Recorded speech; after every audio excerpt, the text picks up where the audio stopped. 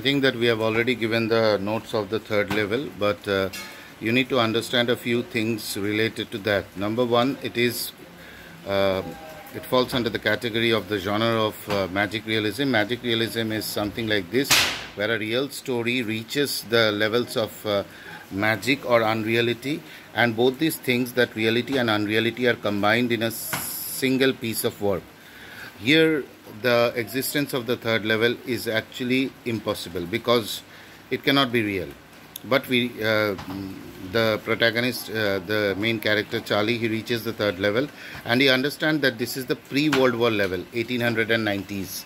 So the world was very peaceful at that time, and he had learned from his grandfather that. Uh, the life uh, at Galesburg or Galsburg was very peaceful and that is why he wants to go back over there because he is troubled by the anxieties of this world and he tries to buy the tickets but fails because he does not have those old currencies.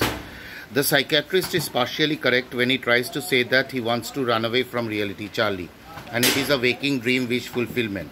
Waking dream wish fulfillment means, um, you know, when you try to fulfill your wishes through your waking dreams when you're not sleeping. Uh, he is partially correct because otherwise, why would why would Charlie want to go to Gals- Galsburg? But when his friends say that his stamp collection hobby is actually an example of, uh, uh, you know, uh, this running away from reality, that is totally um, based on uh, ideas which cannot be true because uh, stamp collection is generally not is, is definitely not a way to run away from reality but this is one side of the idea. The other side of the idea is that any kind of hobby is actually a way to run away from reality.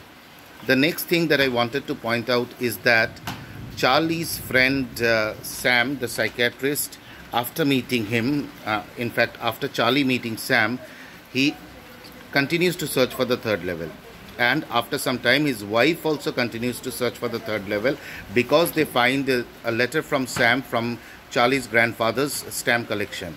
That is totally impossible. How can a first day cover come in the stamp collection? You know what is a first day cover? When a stamp is published the people uh, buy the stamps and uh, uh, they paste it on the envelopes and uh, put a blank paper and send it to their own addresses to have a proof that they had uh, bought the stamps on the first day, that is the day the stamp was published, uh, or the stamp came out like that. So this is absolutely impossible that uh, uh, it, it found a way to Charlie's grandfather's stamp collection and that is why it is magic realism. Now the uh, differences between the original um, central uh, station, Grand Central Station and that station. The spittoons were brass spittoons, spittoons you know trash bins uh, where people spit and all. Um, the counter was wooden. People had old fashioned dresses and old fashioned styles like long sideburns and all.